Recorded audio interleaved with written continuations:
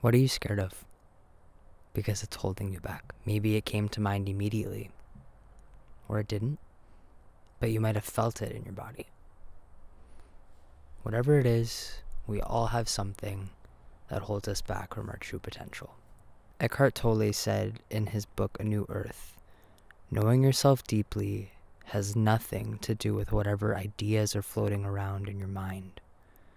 Knowing yourself is rooted in being instead of lost in your mind. This was the first book I ever read on mindfulness and learning about the ego. And it was the book that kickstarted my long journey of self discovery and self growth.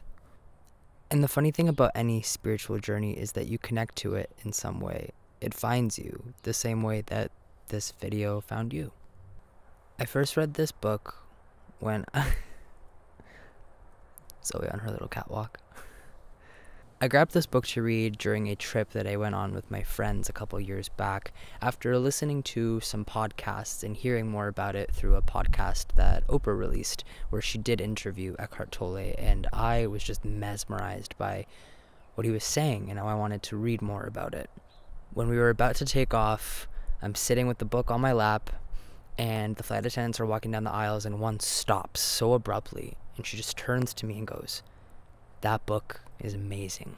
It changed my life. It was such a random and surreal moment, but it was so validating. I felt heard and seen and knew that this is something else that other people also gain so much value from, and that so many other people are touched by this exact same topic. And I just turned to my friends and went, See? It's crazy how like the world of spirituality just like really brings people together in a way that like you almost can't communicate because it's so magical. When you let go of other people's thoughts and projections and judgment, you begin to free yourself. When you let go of your thoughts, judgments, and perceptions, and just feel, you free yourself. And what do I mean by feel, right? Take a moment and just sit with yourself. Take a deep breath. And just connect with your body. What are sensations that you might feel, big or small? Doesn't matter. Thoughts might come up. Acknowledge them. Are they thoughts of like what you need to do today? What happened in the past? Maybe feeling like this is a waste of time, you should be doing something more productive. Acknowledge them. Look at them for what they are. How do they make you feel? Where do you feel the sensations in your body? Is your chest tight when you think of the things that you need to do?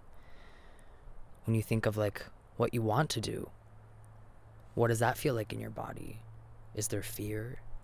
Does it feel like something's holding you back, holding you down?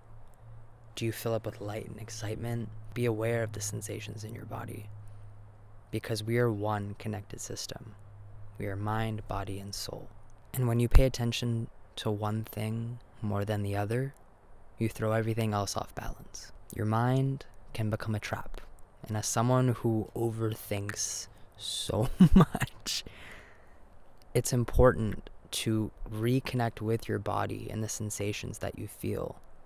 For example, sometimes when I really want to do something and I feel like it's the right thing to do, my mind will kick into overdrive and it'll overthink and overcomplicate and overplan and overstrategize and I'll freeze due to what some people call it as analysis paralysis because I feel like I'm not ready for whatever it is that I want to do or who am I to do that. And you stop and you feel constrained for me personally, I feel it in my chest and in my core. Like there's something holding me from the inside, gripping and pulling me down. And I realize that that's fear, wanting to keep me safe, wanting to keep me in comfort in what I know. But how do you move past that? How do you free yourself from that? What you can do is connect with your body again, feel, acknowledge that feeling. So for me, it's that gripping holding what feels like it's holding like my stomach and my heart. It's holding it here. So I'm feeling it. I'm acknowledging it. Understanding why. Understanding that it's holding me because it wants me to be safe. But I know that that no longer serves me. And it's holding me down and it's holding me back now. So I feel and I imagine that grip loosening. Breathing through it, letting it know that it's safe, that it's okay, that it can let go until I feel that sensation release. And I keep reminding myself that it's okay and that you can move forward. That's just an example of something you can do too. Connect with your body, feel the sensations that you feel, acknowledge them, and try to understand where they're coming from. That's where compassion is really important. Show yourself compassion. Show the feelings and sensations that you feel with compassion. Don't fight them, work with them. If it's difficult to work through things, instead try imagining what does it feel like to have what you want already? What does that sensation feel like in your body? Like imagine you didn't have any more stress about something, you didn't have any worries about anything. Everything that you want just comes your way. Imagine what that feels like. Imagine the energy that you would emanate. How would you walk around each day? How would you approach each day? How would you approach each, each interaction? How would you do that? What is the energy that you would carry?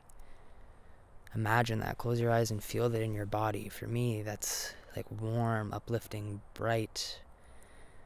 You radiate. Imagine that energy. Feel that energy. Focus on it and let it expand through your body. Imagine that energy and that power fusing with every single cell in your body. Keep this energy alive inside of you. Now ask yourself, how would this energy deal with what you're scared of. Don't think it, feel it. Your being, your true being, is strong, it's powerful, it's adaptive, it's capable, it wants you to succeed, it's wired to succeed. When we give our mind too much power, we throw everything else off balance. But when you connect back with yourself, you feel that strength in yourself.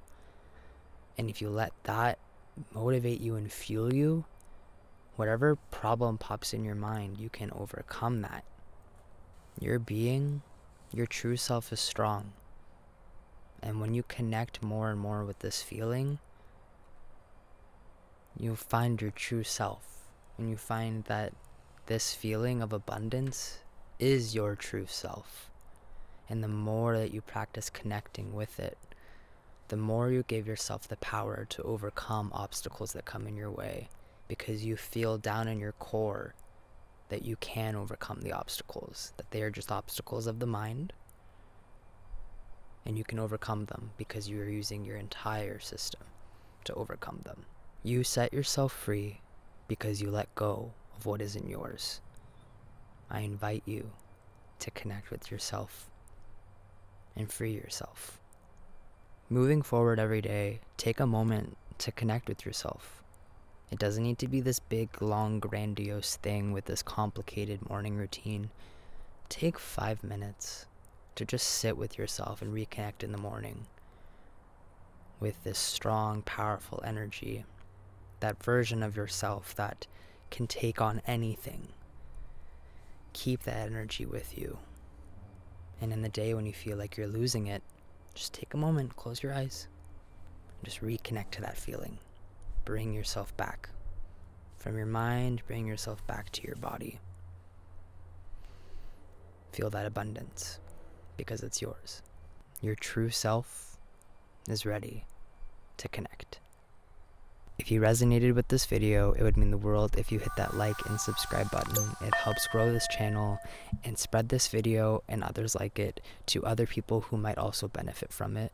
And it also helps grow my dream of building this channel and community of like minded individuals who want to work on themselves and build the life that they truly dream of and step into the version of themselves that's been lying dormant, waiting to just burst out of its shell. Thank you for joining me today. See you in the next one.